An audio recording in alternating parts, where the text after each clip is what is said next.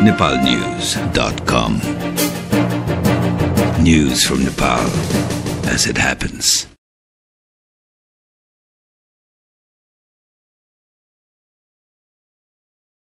उपप्रधान तथा गृह मन्त्री विजय कुमार गच्छदारले शीर्ष दलहरू बीचको निरन्तर छलफलले चाँडै निकास निस्कने विश्वास व्यक्त गर्नुभएको छ आइतबार राजधानीमा पीस फेडरेशनद्वारा आयोजित कार्यक्रममा उप प्रधानमन्त्री गच्छदारले सेना समायोजनको कार्यमा भएको प्रगतिसँगै शान्ति प्रक्रियाले छिट्टै पूर्णता पाउने बताउनु भएको हो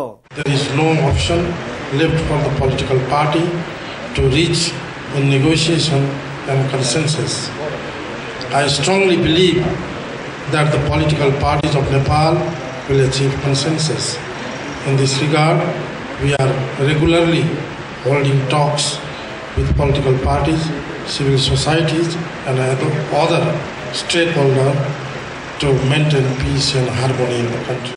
सरकारले नयाँ निर्वाचनको घोषणा गरे पनि दलहरूबीच सहमति जुट्न नसकेको भन्दै सहमतिमा ताजा निर्वाचनको मिति तोक्न आवश्यक रहेको गच्छदारको जोड थियो गच्छदारले गरिबी निवारण नभएसम्म नयाँ संविधान निर्माण र शान्ति प्रक्रिया पूरा हुँदैमा समाजमा दिगो शान्ति स्थापना हुन नसक्ने बताउनुभयो कार्यक्रममा राप्रपा नेपालका अध्यक्ष कमल थापाले राजनैतिक दलहरूले विभिन्न सहमति गरे पनि कार्यान्वयनको समस्या भएको बताउनुभयो विश्व दुनियाँमा नेपालका राजनैतिक दलहरू नै बढ़ी भ्रष्ट रहेको चित्रण भइरहेको समयमा नेपालमा सुशासन दिगो शान्ति र राजनैतिक प्रतिबद्धता नभएसम्म असम्भव भएको बताउनुभयो थापाले दलहरू अझै मुख्य एजेण्डामा प्रवेश गरी छलफल नगरेको समेत आरोप लगाउनुभयो. The Constituent Assembly, despite repeated extension of tenure, failed to come out with a democratic constitution and died a natural death. The objective of socio-political and has turned into a mirage.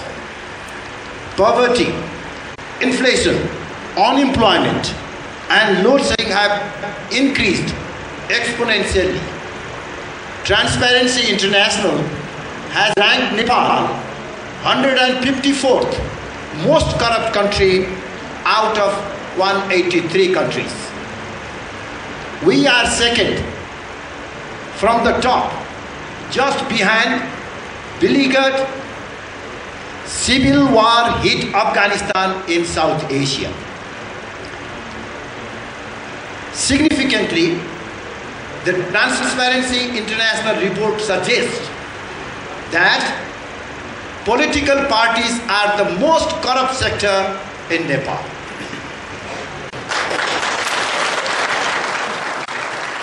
ताजा जनादेश सबैभन्दा सही विकल्प भएको भन्दै निकासका लागि चुनावमै जानुपर्नेमा राप्रपा नेपालका अध्यक्ष कमल थापाको जोड थियो दिगो शान्ति विकास र गरिबी निवारणका लागि नवीन प्रस्ताव भन्ने मूल नाराका साथ आयोजना गरिएको दुई दिने सम्मेलनमा नेपालबाट तीन सय पचास र विदेशबाट एक सय पाँच गरी कुल चार सय पचपन्न जनाको सहभागिता रहेको छ।